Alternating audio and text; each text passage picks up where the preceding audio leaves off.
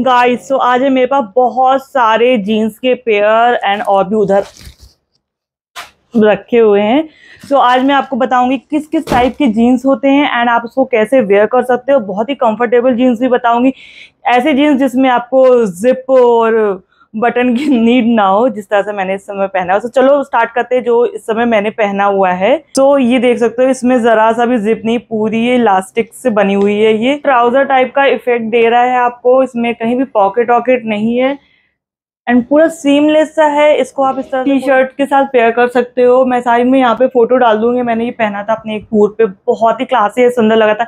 And ये एक तरह से आपको फॉर्मल लुक देता है। तो अगर आप किसी भी फॉर्मल पार्टी में जा रहे हो, ये ऑफ़िस पार्टी है या फिर ऑफ़िस भी जा रहे हो तो आप इस तरह से वेयर कर सकते हो। सच में, इस गर्मी सीज़न में बहुत ज़्यादा कम्फर्टेबल रहता है। एंड इसके नीचे जो इस तरह से यहाँ पे नीचे चौक खुली हुई है बहुत ही क्लासी लुक देता है। मुझे तो ये सबसे ज़्यादा पसंद आता है क्योंकि बस डालो और निकल लो। नेक्स्ट जीन्स है। वो भी कुछ इसी के जैसे मिलती जुलती है मतलब इसमें भी कोई भी पॉकेट सॉरी कोई भी बटन या फिर जिप की ज़रूरत नहीं होती लेकिन ये थोड़ा सा बिल्कुल जीन्सी लुक देता है। जैसे ये वाला भी मैंने दिखाया था। आ, ये जीन्सी लुक नहीं देता है लेकिन ये वाला जीन्स का लुक देता है पूरा। ये देखो जीन्स का मटेरियल प्लस ये थोड़ा बैगी जीन्स है।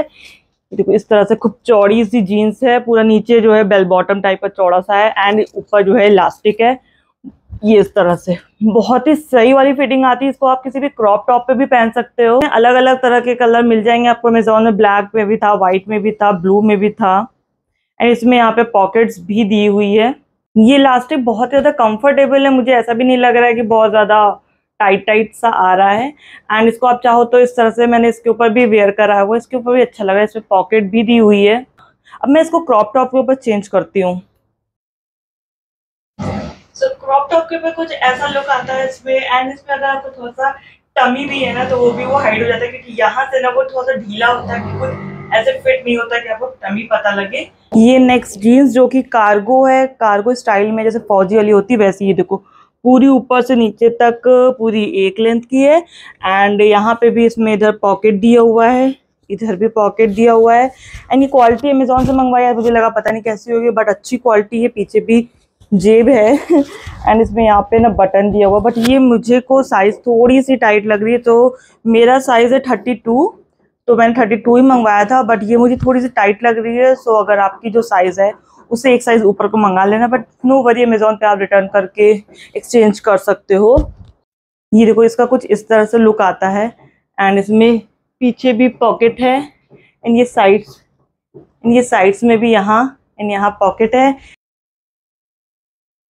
मैंने अभी कल पहना था, इसलिए इसमें बेल्ट लगी हुई है।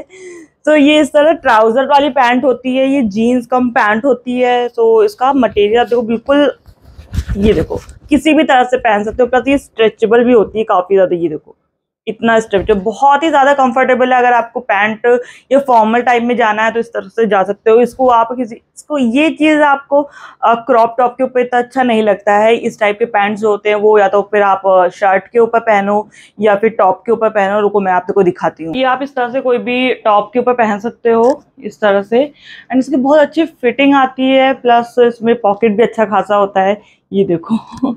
अगर आप ऑफ़िस गोइंग कर लो या कॉलेज गोइंग कर लो तो भी इस तरह से आप स्टाइल कर सकते हो। कोई भी सिंपल से टीज डाल लो एंड ऊपर नीचे ये इस तरह का पैंट एंड नीचे बैठना, जो कॉलेज में सबसे ज़्यादा क्या मस्ती होता है, हम लोग जाते पार्क में, नीचे बैठते तो अगर आप वैसी टाइप की जीन्स पहनोगे ना तो बैठना बहुत मुश्किल होता है।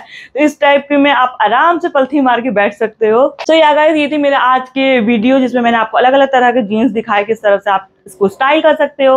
होप आप लोगों को ये हेल्पफुल लगे हो तो प्लीज़ लाइक कर देना, मेरे चैनल को सब्सक्राइब करना है नेक्स्ट कौन सी वीडियो देखना चाहते हो प्लीज़ कमेंट करके ज़रूर बताना। And yes thank you so much guys मेरे थ्री सब्सक्राइबर हो चुके हैं। Thank you so so much giveaway बहुत जल्द आने वाला है। सो स्टेट यून फॉर दैट